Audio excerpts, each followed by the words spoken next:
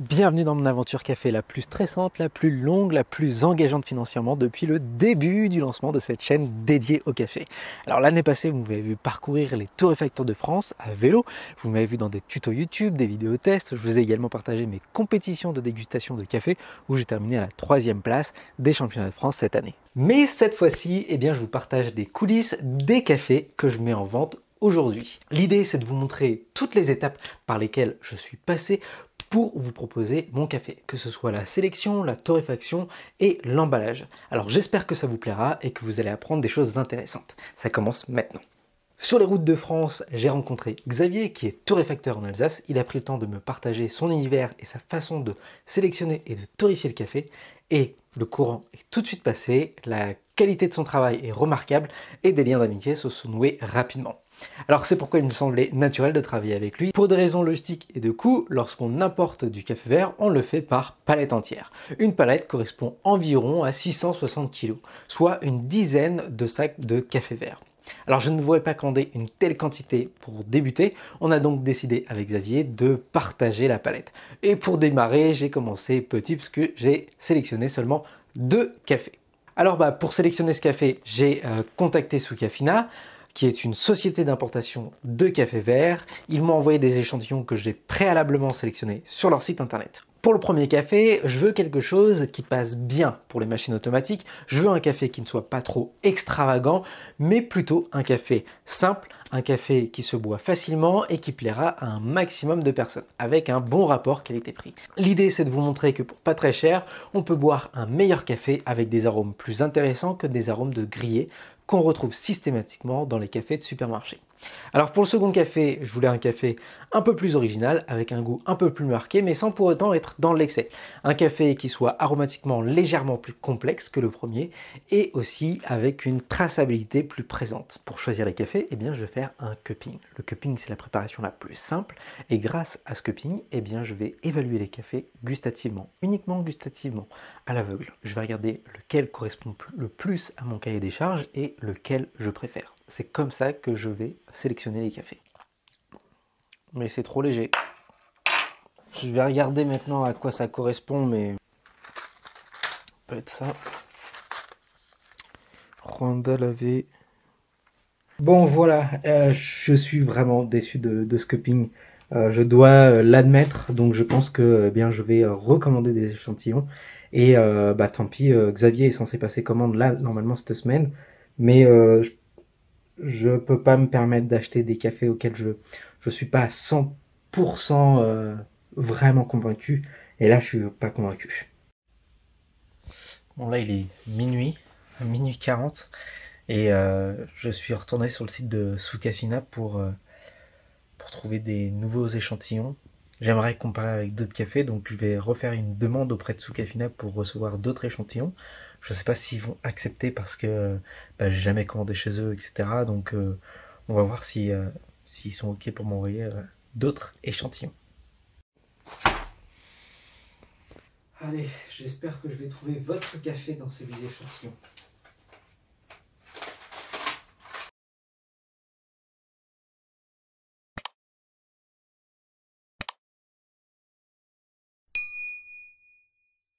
Semble bien dans le sens où euh, il peut bien passer en, machine automatique avec ce petit côté un petit peu plus acidulé que, et, un peu plus de corps que les autres cafés que j'ai là. Je ne sais pas quel café correspond à quoi. Je les déguste complètement à l'aveugle. Vous voyez là j'ai mis des lettres, qui, euh, des lettres et des numéros qui correspondent au numéro de tasse qui est en dessous.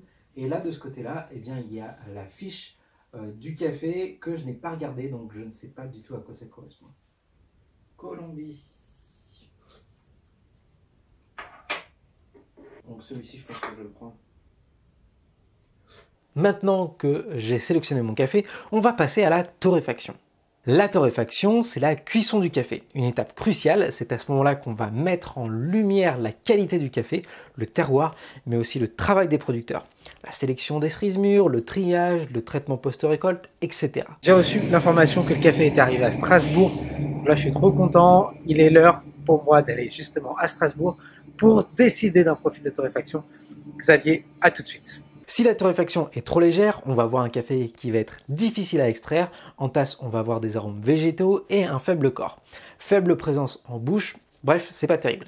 Si au contraire la torréfaction est trop forte, eh bien on va avoir un café qui s'extrait facilement, on va avoir des arômes de grillé et un corps bien présent, mais un café sans personnalité. Si on prend n'importe quel café du monde et qu'on le torréfie fort, eh bien le résultat en tasse sera semblable.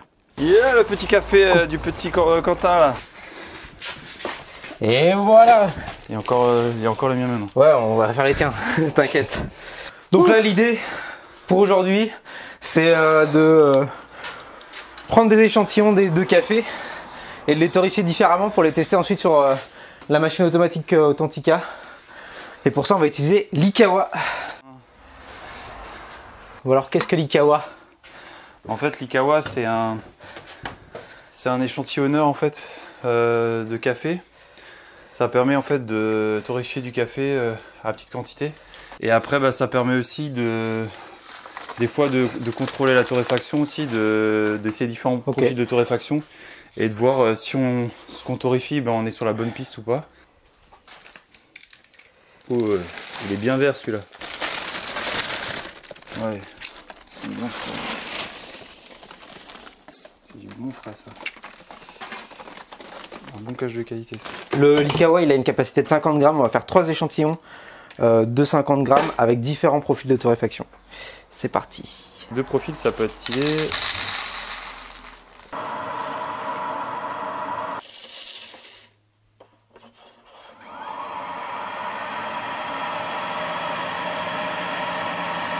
Donc là, on voit euh, la courbe jaune. Qu'est-ce que c'est la courbe jaune? C'est l'air flow en fait, c'est l'air en fait, c'est la température d'air. C'est la température d'air. Et là, on a la courbe rouge qui suit un modèle en fait, c'est ça là, on voit il y a 100, marqué 195, je sais pas si vous voyez bien l'écran. 195 et en fait euh, le modèle bah, c'est tout ce qui est euh, c'est ça en fait.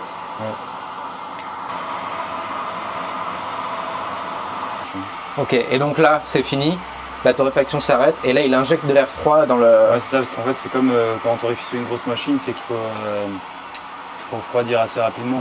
Sinon le café continue de cuire et euh, de se développer en fait. C'est ça, avec l'inertie de la chaleur il continue à, cuire. Le premier échantillon est terminé. Ce que je cherche donc pour mes cafés, c'est de trouver le meilleur équilibre pour avoir une extraction optimum pour faciliter l'extraction et avoir du corps. Et euh, bien entendu, valoriser la personnalité du terroir du café. Ce que je veux absolument éviter, eh bien, c'est de développer des arômes de cuisson comme le grillé. En plus de faire les torréfactions en échantillon avec Ikawa, on va faire deux torréfs euh, directement sur le, vrai torréfacteur, le gros torréfacteur. Comme ça, ça va nous permettre de comparer eh bien, les torréfactions, euh, les échantillons avec l'Ikawa et la torréfaction avec le gros torréfacteur.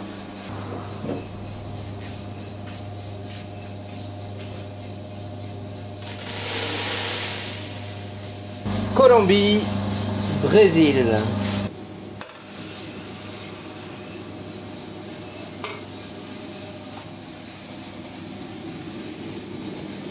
Sur les courbes du PC, là, on retrouve les courbes qu'on avait sur les Kawa quasiment. On a la température du grain, on a la température du grain, température d'entrée. Là, c'est le pourcentage de gaz, 19%, et là, tu es à 50% d'arrivée d'air. Ouais, ça c'est le airflow, ça c'est encore différent, ça c'est vraiment sur le propre à, à l'hydriche. Là, c'est le crack que tu entends là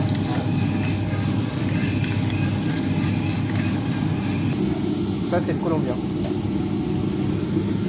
La prochaine étape, eh c'est la dégustation en cupping et aussi le test sur euh, la machine Authentica euh, de Londres.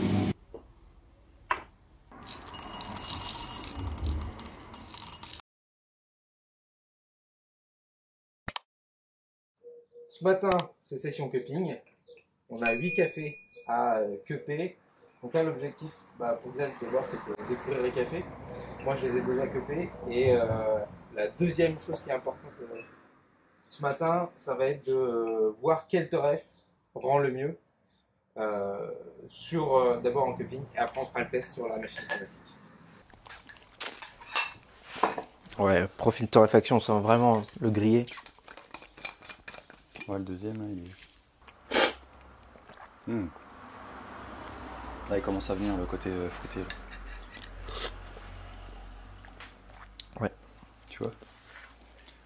En café froid aussi, je pense que ça peut passer. Faut voir comment il refroidit. Non, je trouve pas que le Brésil est trop poussé en fait. Hein. Ici. Euh, ça c'est ça c'est vraiment poussé. Ouais, ça c'est ouais, je suis d'accord. Mais je trouve que non, t'as le côté rond d'un Brésil en fait. T'as pas d'amertume. Euh. J'espère que ça va quand même bien passer en espresso, parce que c'est un peu le but. Bah là si tu sens pas d'amertume en espresso ça passe easy. hein. Easy peasy mec. Ouais, c'est moi je trouve ça léger mais après Oui, mais toi tu trouves ça léger, mais je sais que ceux qui regardent là, euh, c'est pas des cafés qu'ils ont l'habitude de consommer Ouais, de ouais, manière générale. C'est pour ça on va essayer de voir, euh, de voir comment ça, marche, ça passe au machine automatique et après bah, on Ouais. va fignoler les détails en fait. hein. C'est comme ça qu'il faut faire. quoi. Ouais. Là pour un premier essai je trouve ça super bon déjà. Ouais, moi je suis, su- je suis très content là. Tu vois, de la Toref, là déjà je me dis, ah c'est vraiment pas mal. Je le vois bien aussi en, en slow coffee. Là je le sens bien. Et en espresso, bah il faudra, il faut, il faut l'essayer. Et le Brésil ouais bah j'aime bien ouais. Bah c'est très rond comme, euh, comme profil. hein. Bah, c'est ce qui était recherché, hein, un, café un peu plus classique. Et je pense que ouais en machine auto ça va bien, ça va bien sortir quoi. Ça va, ça sort quand même pas trop mal en fait. hein. Ça va. Le café de renard, en comparaison, Sao Francisco, ça c'est euh, le café euh, torréfié sur la vie riche. Et ça c'est Ikawa. C'est trop, c'est too much. C'est le plus acide des trois en fait. Hmm.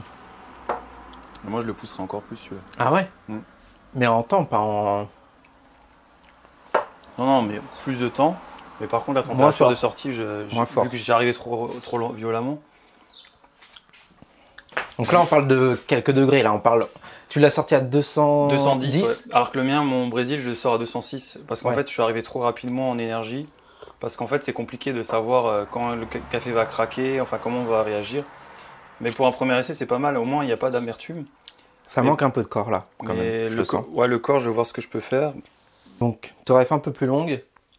Ouais, je pense que 5-10 secondes avec une euh, température de sortie euh, moins agressive. Ouais. Et en fait, euh, on Ouais. sera nickel. Je pense que ça sera pas mal, ouais. Ouais. Ok, euh, et ben on passe au Colombie maintenant. Ah ouais, moi je trouve qu'on sent bien le côté aromatique. Mais là, je trouve ça encore un peu trop. euh, Il est bien, un- bien intéressant sur le côté aromatique. Il est, il est acide. Ouais, mais bon. Après, de toute façon, il y a un côté. Enfin, quand, quand tu arrêtes de boire, il y a un côté sec en bouche qui. qui- Ça, ça s'appelle. Bah là, c'est parce qu'il est vraiment trop frais, le, le café, en fait. Faudrait, faudrait voir euh, dans quelques jours, mais moi, je pense que je mettrai au moins 5 secondes, voire 10 secondes de plus euh, en termes de développement pour euh, arrondir un peu plus. euh. Et moi je mettrais un, un- une plus grande quantité, un volume d'eau plus important. Parce que là je pense qu'il est trop... euh, Bah, on peut, hein. On peut refaire, Non, si c'est bon, c'est bon. mais là, en fait, ça sert à rien. Non, non, je suis content, je suis content. Je ressens mieux le côté... euh, euh, L'identité du café, je le ressens un peu mieux que, que sur le test d'avant. Alors on s'est mis euh, d'accord avec Xavier pour un profil de torréfaction pour chaque café, à savoir que Xavier ne travaille pas gratuitement, on s'est mis d'accord pour un prix entre 6 et 8 euros le kilo. Vous le savez, le prix de l'énergie risque d'augmenter et nous ne sommes pas épargnés, que ce soit pour la torréfaction ou bien le transport. D'ailleurs, en parlant de transport, une fois que la torréfaction est terminée, Xavier va m'envoyer le café à mon atelier. C'est un point qui devra être amélioré à l'avenir, mais si je voulais travailler avec Xavier, eh bien, il n'y avait pas d'autre solution, à part le déménagement, mais un peu trop radical pour euh, commencer. Avant de passer à la suite, on va faire un point financier, à savoir que j'ai investi la totalité, quasiment la totalité, de l'argent généré par YouTube depuis le début de lancement de cette chaîne. J'ai acheté donc les deux sacs de café vert, un de 60 kg et un autre de 70 kg, pour un total de 1160 euros. À cela, il faudra ajouter les frais de transport que je n'ai pas encore payés à Xavier, environ 50 ou 100 euros. J'ai également acheté un moulin à café pour pouvoir vous moudre le café. J'ai acheté un Firenzato F5D d'occasion et pour une somme de 265 euros. C'est une solution temporaire, peut-être qu'il me faudra un moulin plus performant si vous m'achetez beaucoup de café moulu. On va y revenir en détail dans la suite de la vidéo, mais concernant l'emballage et le packaging, j'ai acheté mes paquets de café et mes paquets filtres, ici les cartons pour la dose, je vous en parle après, pour un total de 450 euros. Enfin, j'ai également investi dans divers matériels de fourniture, que ce soit pour l'expédition ou le packaging, comme des imprimantes thermiques, des feuilles en mousse, des étiquettes, une machine à sceller. Bref, pas mal de matériel, j'en ai eu environ pour 250 euros. J'ai dit enfin, mais non, en fait, c'est pas terminé. Il reste des cartons d'expédition, j'en ai acheté de différentes tailles pour un total de 350 euros. J'ai donc investi environ 2500 à 3000 euros, bien qu'il faudra ajouter des frais de fonctionnement du site, le système de paiement, les autres frais de transport et encore quelques autres coûts que je n'ai pas mentionnés ici. Comme la petite carriole qui me permettra d'expédier mes commandes, mais c'est pour avoir un ordre d'idée. J'ai choisi mes cafés, qu'on a décidé d'un profil de torréfaction. Je vais m'attaquer maintenant à la partie emballage. On va voir comment est-ce que j'ai procédé pour réduire les coûts et avoir un résultat satisfaisant. Deux questions sont principales ici. D'abord le conditionnement. Est-ce que je vais utiliser des paquets de 200 grammes, de 250 grammes ou 1 kg et l'autre, c'est le visuel. On y reviendra après. D'abord, pour le conditionnement, et eh bien là, clairement, c'est les conditions tarifaires de la Poste qui m'a incité à choisir des paquets de 200 grammes. Ce qu'il faut savoir, c'est qu'au-delà de 250 grammes, on passe une tranche concernant le prix d'expédition. Si un client souhaite acheter un seul café, bien une expédition de moins de 250 grammes sera plus avantageuse. Ensuite, je me suis dit que pour démarrer, il est plus simple de faire un conditionnement unique et si des clients souhaitent acheter plus de 200 grammes, eh bien rien n'empêche d'augmenter la quantité de paquets qu'ils vont acheter. Certes, ça consomme plus d'emballage, mais la conservation est mieux. Et à l'avenir, s'il y a de la demande, eh bien, je proposerai des conditionnements différents. Surtout que si je change eh bien, le format du paquet, eh bien, il va falloir que j'ajuste la taille du euh, visuel, etc. Donc ça devenait compliqué, donc j'ai préféré faire un seul et unique format. Au niveau visuel, j'avais le choix entre acheter des étiquettes que j'aurais personnalisées ou bien acheter un paquet personnalisé. Mais le problème, c'est que je ne connais pas la quantité que je vais vendre et je ne voulais pas commander pour ne pas utiliser. D'autant plus que acheter des paquets qui sont déjà imprimés, eh bien, c'est un investissement financier conséquent. L'autre option que j'avais, c'était de faire des tampons. Là, c'est cool parce que je n'ai pas de limite concernant le nombre de paquets. J'ai simplement à faire un design et à commander un tampon, deux tampons, trois tampons, quatre tampons. Bref, à 60 euros le tampon, je me suis dit que ça allait me coûter cher. J'ai donc opté pour une solution maison. Et j'ai pas mal galéré, mais je suis plutôt satisfait du résultat. Encore une fois, dites-moi ce que vous en pensez dans les commentaires. Alors, je vous explique comment ça se passe. La première étape, eh bien, je design mon tampon sur Canva. La deuxième étape, j'utilise mon graveur laser pour graver une feuille en mousse. Alors au début, j'ai galéré parce que j'utilisais une feuille trop fine et du coup j'avais des impressions qui débordaient. Alors j'ai utilisé une feuille plus épaisse et j'ai gravé un peu plus fort et le résultat est satisfaisant bien que parfois ça laisse encore quelques traces. Mais bon, dites-moi ce que vous en pensez. Mais moi je trouve que le résultat est quand même, ça va quoi. C'est assez correct. C'est quand même pas mal. Surtout que ça me permet d'avoir euh, eh ben, une flexibilité de design assez facilement parce que je peux créer des tampons euh, très rapidement. Alors voilà à quoi ressemblent les tampons. Là ici on a la, feuille de mousse que j'ai euh, gravée et puis en dessous on a le support en bois. Alors c'est un support en bois maison mais bon ça fait le taf, hein. ça fonctionne très bien. Donc voilà. Ensuite j'ai imprimé une boîte avec mon imprimante 3D pour pouvoir eh bien, recharger mes tampons comme ceci. Tac.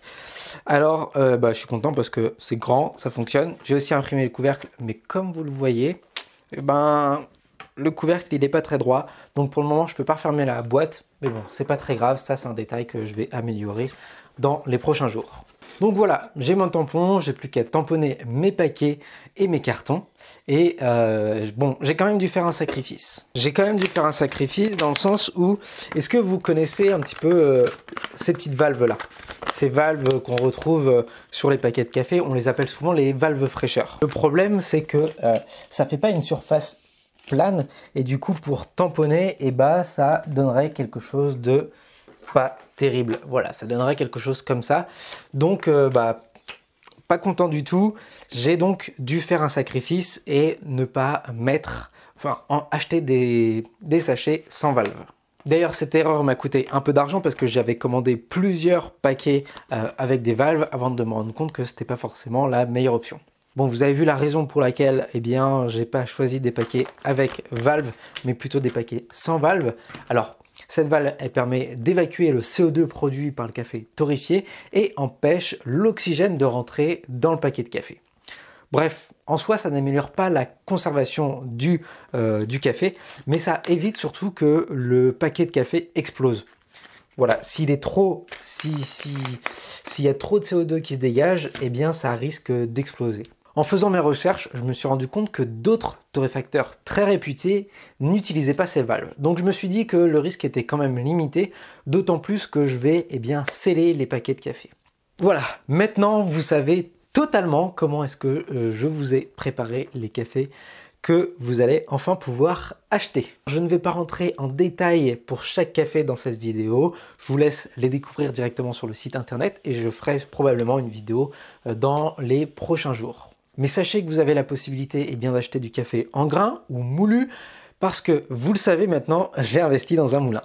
Alors il y a trois origines différentes, l'Éthiopie, le Colombie et le Brésil. Chacun a des caractéristiques gustatives différentes. Pour le Brésil et pour le Colombie, vous m'avez vu les goûter. Et pour euh, l'Éthiopie, on est sur un café qui va être plus intense aromatiquement. Il a été sélectionné et torréfié encore une fois par Xavier. Vous pouvez découvrir la gamme complète sur le site écolecafé.com.